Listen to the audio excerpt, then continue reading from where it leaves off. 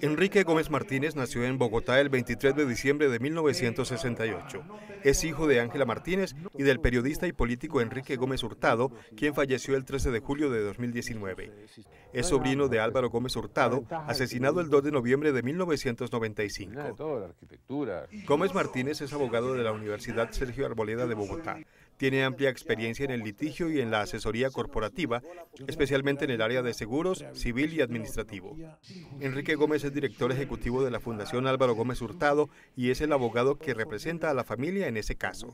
Gómez es el vocero y representante legal del Movimiento de Salvación Nacional, fundado por su tío Álvaro en 1990. Precisamente Enrique Gómez Martínez se presentó como candidato presidencial por el Movimiento de Salvación Nacional. Entre sus banderas como candidato, Enrique Gómez plantea una reforma integral a la justicia y la eliminación de trámites y regulaciones para la creación de empresas.